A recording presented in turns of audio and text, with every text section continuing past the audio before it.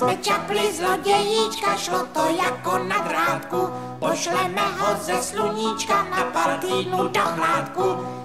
Dělá hmyzu a studu, zavřeme ho do sudu, do sudu, do sudu, do sudu, do sudu. Tam si asi nějaký čas pobudu.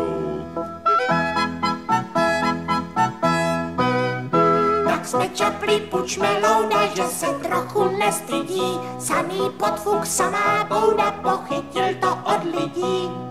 Dělá hmyzu ostudu, zavřeme ho do sudu, do sudu, do sudu, do sudu, do sudu. Tam si asi nějaký čas pobudu.